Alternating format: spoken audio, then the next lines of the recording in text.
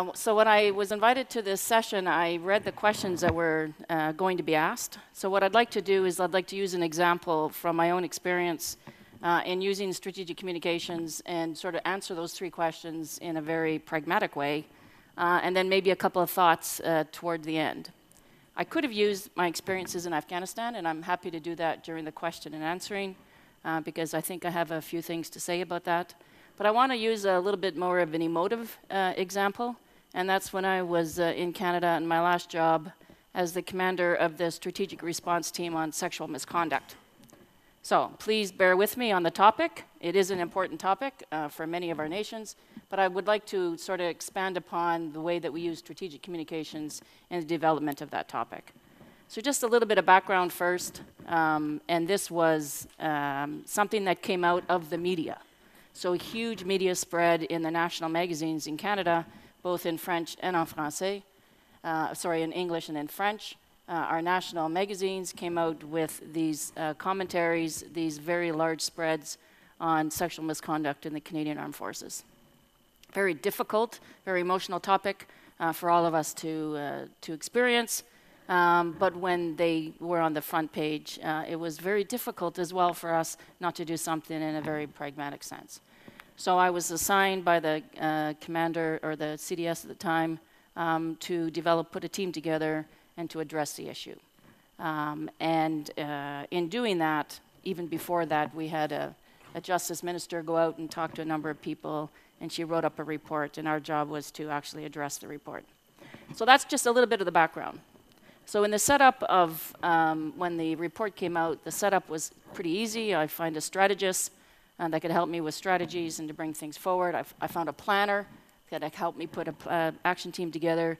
Uh, but the third line that I got, um, which was almost more fundamental than the first two, was a strategic communicator that I brought in as a contractor, uh, ex-military guy, uh, and um, we used him uh, profusely throughout the experience to really help us set the tone. And the very first thing that we had to do was create a narrative. Now, you would say that the narrative was already out there. The narrative was provided to us by these national magazines. But the fact is, we needed to create our own narrative on how we were going to address it. So we needed a short term and a long term narrative, and he was actually fundamental to that. And in developing the narrative, that helped us identify the strategies and the planning that we needed to go ahead uh, and, uh, and to do. Now, the planning uh, had to be very comprehensive, which had to be part of the narrative because we were going to tackle this on many, many venues, not just in terms of uh, addressing uh, potential uh, offenders, but addressing the system, the systemic problems that actually uh, were behind it. So we had to we had to put those two together. Um, and uh, so let me just go to the com strategy now. In developing the com strategy, so we had this narrative a short-term and a long-term strategic narrative that we put, uh, put forth. And it was fundamentally important, and I think it, it, was essential to the success of this particular mission that the whole chain of command had a buy-in to not just the narrative, but to the problem set, the fact that there was a problem, and then what we needed to do in order to address it. So those were, in my humble opinion, the pivotal aspects of the strategic communication plan. Ownership by the chain of command from the, chief, uh, from the chief of the defense staff all the way down to the unit commanders uh, throughout the entire Canadian forces. And it had to start at the top and it had to go all the way down. And in fact, what happened was, was also leadership from the bottom moving its way up. So in the short term, uh, we had to get the message out. So there's tremendous amount of communications, as those of you who are professional communicators know. We needed to get the message out on what we were doing and what the action plan also uh, talked about. But we also needed to identify what best practices were, so we created the environment where we went around. I went uh, to many countries that uh, probably many of yours uh, came to visit you to figure out uh, what was the best way in order to tackle this insidious behavior.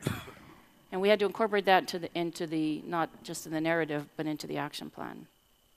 And then I had to do something which was a little bit more difficult, and that was go to the town halls across the country uh, and to speak to 30 thousand Canadian Armed Forces members, uh, about uh, a third of the Canadian Forces population, and to discuss everything that had happened and to impress upon both the leadership of their responsibilities uh, and to impress upon uh, the members of the Canadian Armed Forces what is behavior that will and will not be uh, taken. So, in the short term, that's what we did in terms of the communication strategy.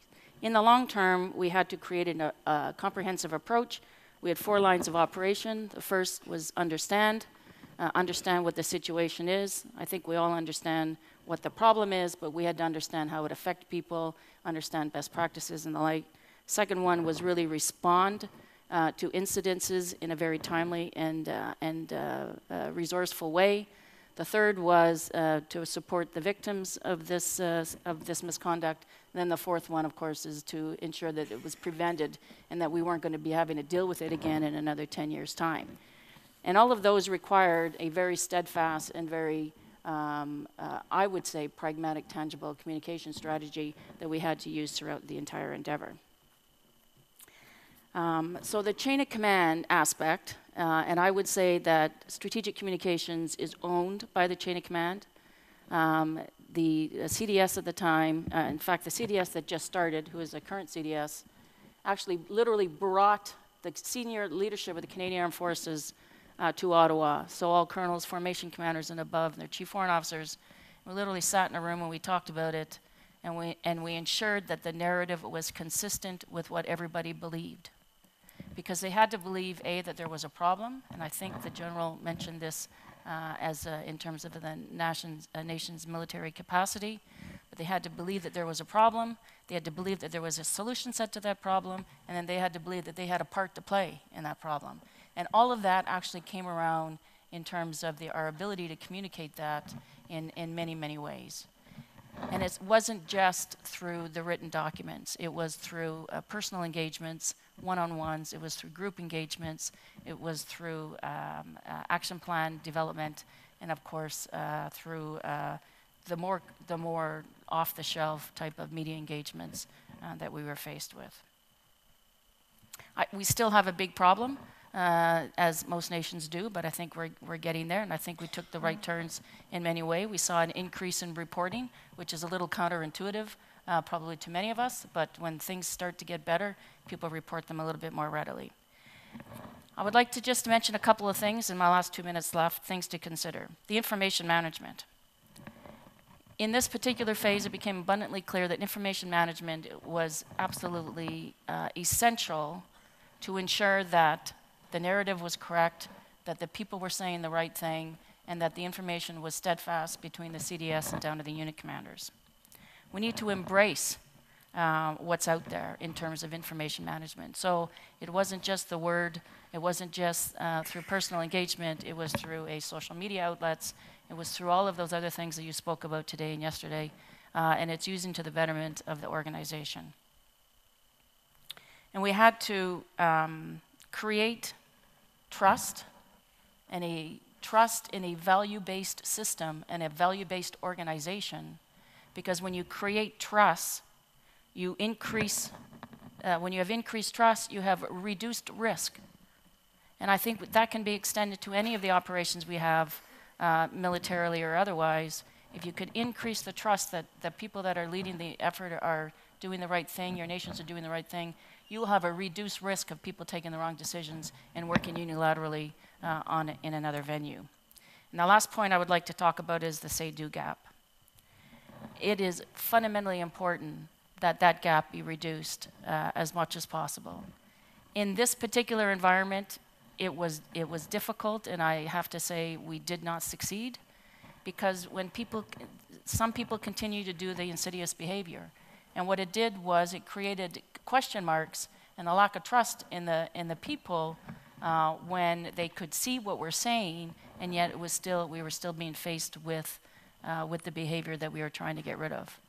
Even though the behavior was reduced, even one episode or one incident puts a lot of the actual, uh, actual effort and positive uh, movement that we're doing uh, and, and, moves, it to the, moves it to the back. So the say-do gap is fundamental uh, to success in any strategic communication uh, environment. I will leave it at that. Uh, my time's up anyway. Uh, I will leave it at that, and uh, I look forward to your questions. Thank you.